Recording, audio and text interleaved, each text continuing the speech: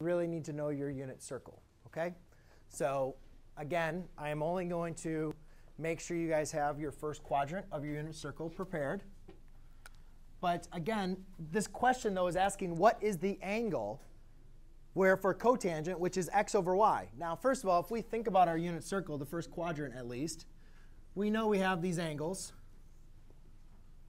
So we have 1 half comma square root of 3 over 2, square root of 2 over 2, comma square root of 2 over 2, and we have square root of 3 over 2, comma 1 half.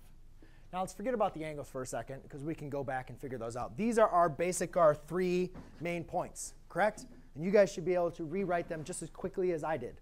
So practice, practice, practice your homework, and I guarantee you don't need to memorize anything. You'll be able to have these three points. These are your coordinate points for our given angles. So they're saying, what angle produces the cotangent of 1 over square root of 3? Well, remember, cotangent of any angle on the unit circle is going to be your x over y, right? So which time, when I have a x coordinate over a y coordinate, would any of these simplify to give me 1 over the square root of 3? I don't know. Let's, you know, if nothing's coming to you, why don't we try each and every one? 1 half over square root of 3 over 2. Huh. First one I tried, got it. So what was that angle? Does anybody remember?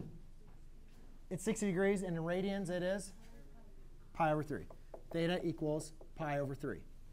FYI, if we were going to try the other ones, square root of 2 over 2, comma square root of 2 over 2 equals 1.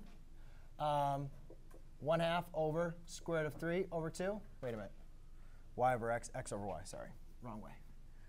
Square root of 3 over 2 divided by 1 half would equal the square root of 3. So that's what the other angles would have been. And then you just need to know these other angles. So therefore, theta is pi over 3, or, or 60 degrees. But I will tell you, your answers are going to be expected to be used in radians. Okay?